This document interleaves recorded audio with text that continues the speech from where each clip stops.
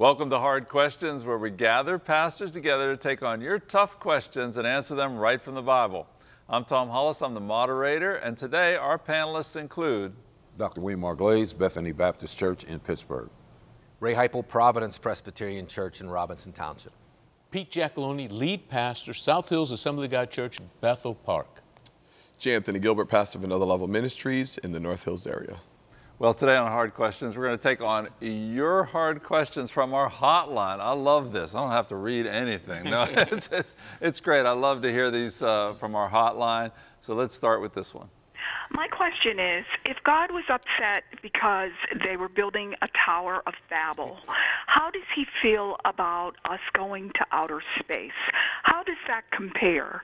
Thank you don't believe we've ever had this question. So, Pastor Pete. Nanu, nanu. well, you know, uh, the whole idea of Babel, uh, all right, let me, let me get into that first. Babel, it, uh, it, it, doesn't compare to what she's talking about, idle space. Babel was complete immorality. It's where they were building uh, this edifice that's going up to the, the throne room of heaven, and it was filled with uh, prosti- sacred, I don't know how, uh, it's got to be an oxymoron, sacred prostitution, you know what I mean? And, and the whole idea of Babel was, was immoral. So God went down and, and uh, confounded their languages. But us going into space to discover, and, and the, everything about that was pride, it was arrogance, it was all man focused.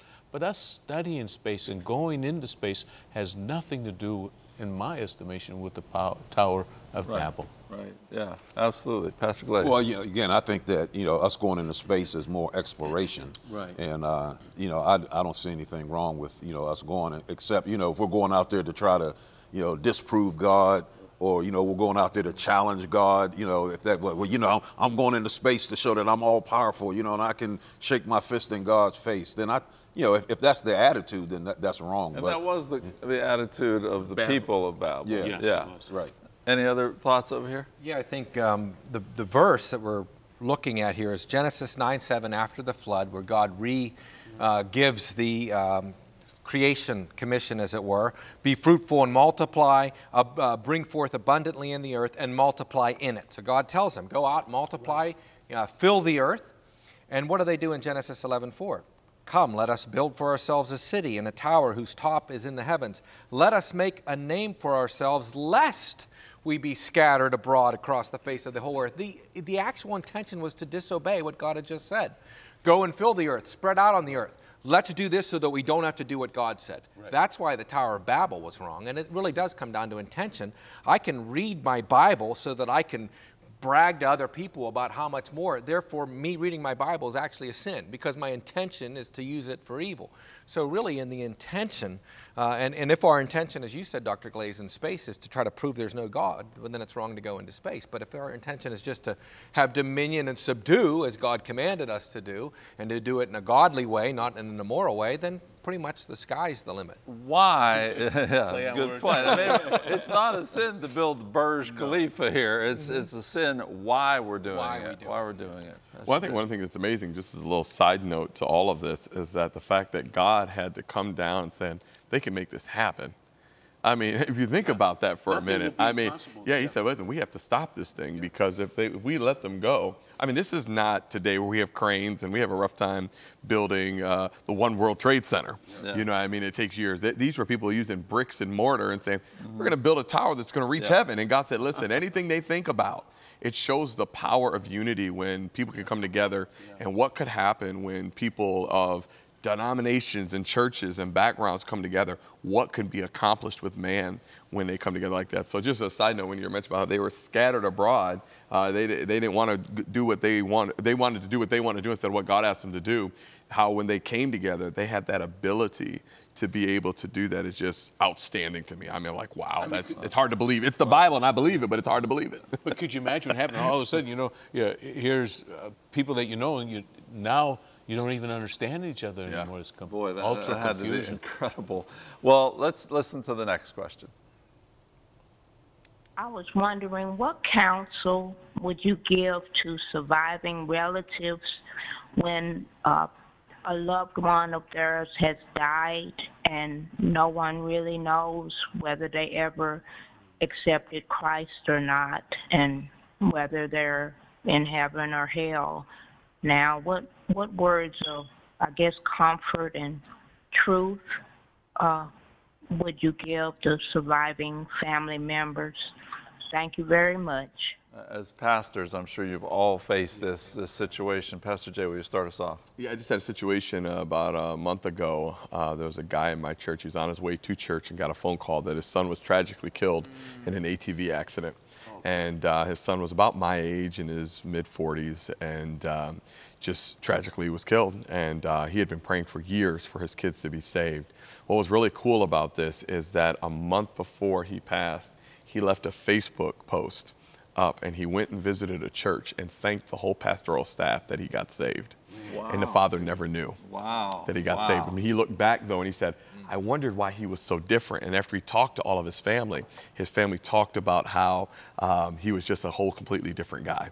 And so just to say that to anybody that's watching, you know, God will leave that little glimpse for you. I mean, especially if you've been believing God for your children, He's going to leave that little glimpse of you to show you that they made it in. And I believe without beyond a shadow of a doubt that this uh, this young man was saved. So.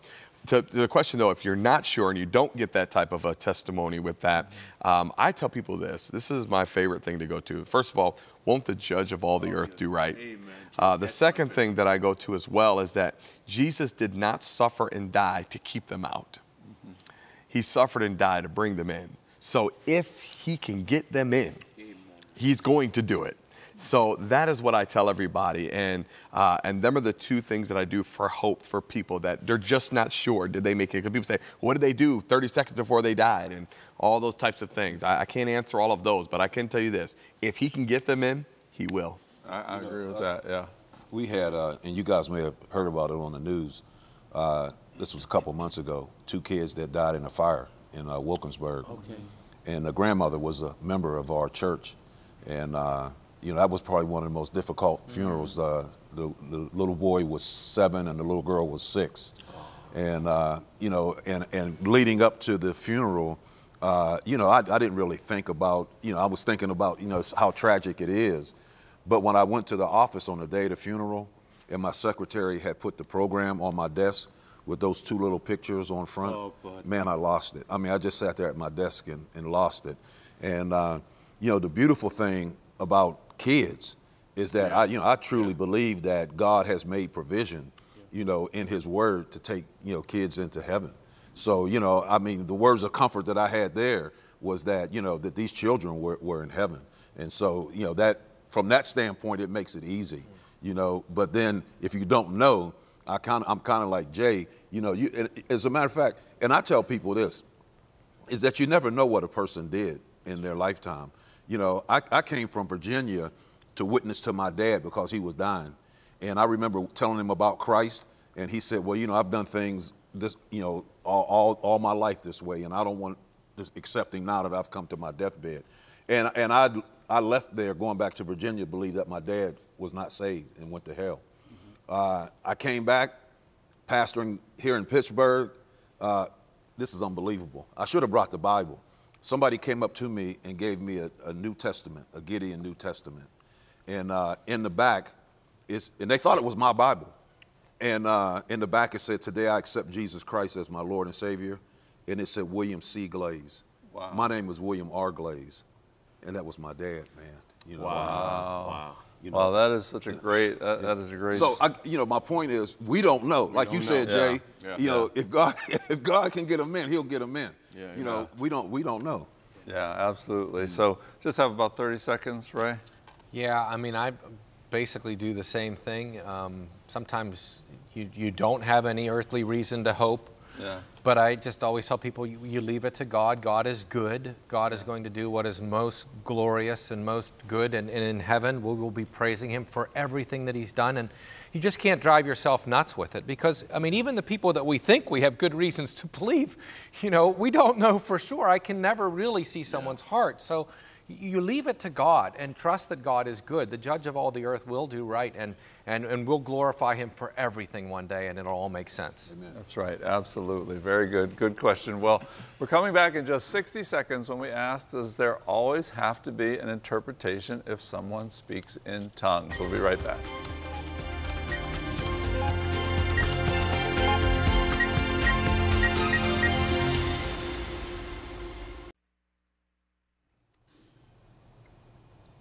Welcome back to Hard Questions. Today we're taking on your questions from the Hard, Questions hotline. I love this. So let's listen to the next one. Hi, uh, my name is Perry, and I have a question for you concerning tithing. The Bible says to bring all the, your tithes into the storehouse. And as I understand it, back in the Old Testament, it was into the temple. So my question is when you bring your tithe in, does it have to be all to the local church, or can you split it up between different ministries and evangelists and so forth? Thank you. This is a good question that gets uh, asked quite often. Ray. I know in uh, Malachi 3:10 is the verse he's referring to about bringing your whole tithe into the storehouse, and we could look at the different passages and the different ways in which they had tithes of certain crops and so forth. And I've heard that it's been uh, calculated that maybe 16 to 18 percent eventually went with all the different tithes, but a lot of those tithes you would bring and then you would get back and eat in some place and have this big feast and invite the Levite. And so you would give a tithe, but it would come back to you. So there's a lot of complications around um, the way the Israelite practice was. And so it, it is uh, difficult to try to go through, and a lot of that's symbolic and ceremonial and fulfilled by Christ. But I think if you go back before all that, Abraham gave a tenth of all that God had given to him because, and it doesn't say that he was commanded, but he did it because he loved the Lord. He gave back to acknowledge that it all came from God.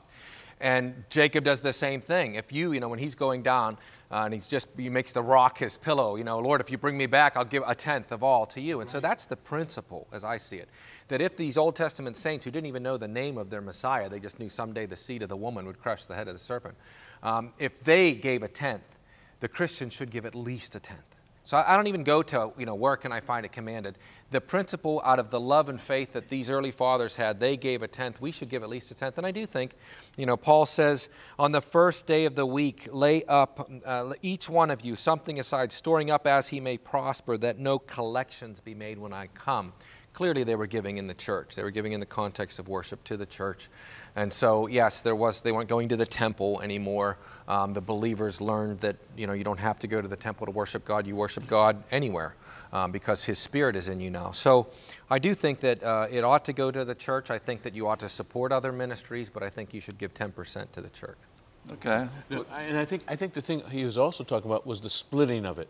Uh, and, and, yeah. and some people have a problem with that. In other words, uh, I don't as a pastor. I mean, it, the, the church is going to go on. So, in other words, some people will want to split the tithe. They'll, they'll want to send so much to the church, maybe so much to uh, CTV. Uh, I don't want to get that legalistic, you know what I mean? Mm-hmm. Um, and I think that was the, the, the, the, operative word there was splitting of the tithe. Uh, am I wrong? Do, well, you know, I, I, and that's why I would say tithes and offering, offerings. Right. Okay. You know that, you know, I, you know, I'm a firm again you know, I could get into a discussion about tithing, whether it's New Testament or not, right. but I'll, I'll leave that for right now. Uh, you know, I, I, heard somebody oh, say. One of my favorite uh, discussions. Right. No, that's all right. Well, you know, I heard somebody say something a long time ago, and I love Charles Stanley. I mean, I love Charles Stanley, but they used in an example. They said if you, you know, give your tithe or you split your tithe and you send it to Charles Stanley, he's not going to come visit you in the hospital. That's you know, he's, he's not going to marry you. you. You know, he's so you know again uh, the principle that the person was making yes. was that you know that the focus of your tithe should be you know your local church. Well, certainly, and of course, I'm, I'm, sitting here in an organization that is sort of a parachurch organization, Cornerstone Television, that survives on uh, donations as well. Yeah. So we're certainly asking for people to support the ministry here. How do you how do you slice this up, Pastor Jay? I'm a little bit more dogmatic than probably you would be. I, I believe the tithe belongs in the storehouse. I believe that. Um, and you say the storehouse is the church. The church, yeah. I believe, like you said, there's tithe and then there's offerings. I just had a conversation with somebody in our church that was talking about, yeah, I sent some of my tithe here, some of my tithe there. And I told them, I said, you're robbing yourself of mm-hmm. blessing. Mm-hmm. I said, because throughout what you're doing, you're saying, I don't have enough. So what I'm going to do is I'm going to split my tithe No, what it is is you have a desire to bless another ministry. So you need to put your tithe into the storehouse and then begin to sow above that. I would say that the tithe brings you the fullness, the offering takes you into overflow. But how can you say with certainty that the storehouse means the church? because that's what they were doing at that time. When they brought their tithe in the, in the Old Testament, Right. they brought it to the place of where the priests were. Right. Originally, the priests, that was part of their inheritance, Yeah. was the tithe. So they brought it to where they were being fed and where they were being ministered to. And then also, let me say this too. that It, uh, when, I thought you were going to ask a different question. People will say, well, does it say that in the New Testament? Remember, when Jesus was talking to the Pharisees in Matthew 23, he said, you ought to have tithed. And he said, and, but you have left out the more uh, weightier matters. Yeah. He said, You should have done this. So even Jesus said, Render to God things that belong to God, render to Caesar things that are Caesar's. So, uh, and I believe that the tithe also is the way that it's kingdom economics. Uh, the church needs money. Let's just call it what it is. I mean, you can't, uh, every one of us have a church here, even here. It can't operate without this. So when people sow into that, God's saying, I'm going to set this apart to sow into the work of the Lord. And then the offerings, you put it wherever it is that you feel led. And then I will give seed to the sower and bread to the eater. So No question. That, that's, that's my thought on it. That's that's that's good. Well, well, you know what? We're going to leave this. because I'm the I'm the I'm the uh, guy that thinks tithing's Old Testament, but I tithe. okay, so Well, you're not by yourself. Like a little legalism What's there. that? You're not by yourself. yeah, I mean that's that's you know because I like what Ray said about you know uh, giving that tenth is a is a good place to start and is a good place to to support the work of God. Well, let's go on to the next question. My question is um, why, when pastors preach and they speak in tongues, there's no interpretation? The Bible clearly speaks about speaking in tongues, and there has to be interpretation. So we have a lot of preachers now who will begin to preach and they will be able to speak in tongues, but it's not uh, recognized in that in that language. So I have a, that's my question. I, I, before you answer, I don't really know any preachers doing this, but go ahead. Well, from time to time it will take place. But again, if you really want, for me, clarity, it's found in 1 Corinthians chapter 14. And, and, and, and I believe in 1 Corinthians 14, Paul is putting the church in order because it was a church out of order. Uh, and Paul was telling them that things need to be done decently and in order. In 1 Corinthians 14, I see three gifts here. I, think, I see tongues and tongues interpretation for the edification of the body. I see prophecy for the edification of the body. And I see tongues for the individual believer. So I, again, I see three gifts here. And he who speaks in a tongue, eh, he's not speaking to men, but God, for no one understands him. However, in the Spirit, he speaks mysteries. So we see that, it's very clear. And then Paul goes on to say, I wish you all spoke with tongues, even more, you prophesied. So he's giving some clear cut distinctions of what tongues and tongues interpretation is and what the individual praying in tongues. Now, I, I have a good idea what he's talking about. There's sometimes in the Pentecostal circle, all right, can we, can we share some of our laundry, all right? Sometimes in the Pentecostal circle, a preacher will get up and he'll start preaching, and then all of a sudden he'll start speaking in tongues. And I'm, I'm really believing that's what he's saying. And he's saying, well, if he's going to do that, then there should be an interpretation. Times when I see that happen, I see it more of an exuberance of the individual that's so excited about what he's preaching about that before you know it, he, he may go into tongues. Myself personally, I don't practice that. Yeah. You know what I mean?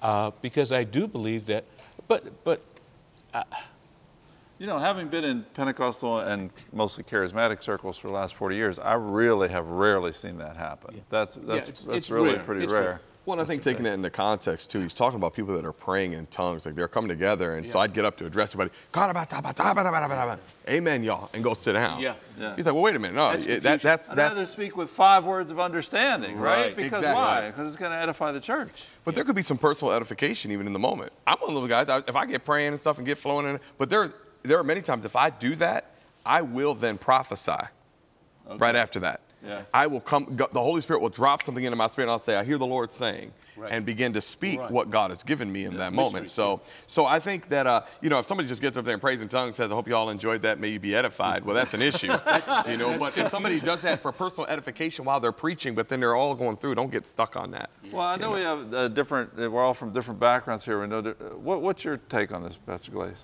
Well, yeah, again, uh, I, I would say that if somebody speaks in tongue in the church, uh, kind of like what Pete said, I would ha- say there has to be an interpretation. You know, you just can't get up and you know and, and say something that's meant for the body and not have somebody to interpret what that means. So. Okay. In- In my congregation, what I've always done when that has happened, I always go back to the individual. If there's no interpretation, I'll say, brother, sister, what do you, and then 99% of the time, what, what they wind up giving is usually. I've actually been in services where the pastor said we're out of order because there hasn't been any interpretation. And then, you know. but then yeah. I, I like to go back to the individual. Yeah. And, uh, Yeah. yeah. Yeah, Ray? I mean, I, I agree with Dr. Glaze that uh, I, I don't believe the gift is active now, but I do believe when it was active, it would have been improper for someone, because Paul's clear, there has to be an interpretation. And I have, I've been in a lot of different circles. Yeah, I've been in sure. circles where someone speaks in tongues and then someone else and someone else. And, um, you know, I don't believe that they're doing what the, the Bible teaches. I, th- I believe the Bible teaches a miraculous, you know, if I would say, Bereshith bara Elohim et ha-shemayim va'et ha'aretz, that's would be speaking in a tongue if I didn't already know that verse in Hebrew. But I just said to you something in an actual language, Hebrew. Genesis 1 1. Exactly. Yeah, I knew interpret. And, All right. You do believe in tongues. The interpretation is over here. But the interpretation is of a real language and because it was a real language. And so that person was actually understanding what the other person said. And that's different than somebody saying something that no one understands and then somebody else saying something that they believe God's giving them directly as a prophecy or something. I don't believe that word interpret, it's a translation. It should be a translation of what that person said. So. So, all right, good, good, good. Important question, important thing to, to think about. Well, coming up in 60 seconds, we're going to answer another of your hotline questions. We'll be right back.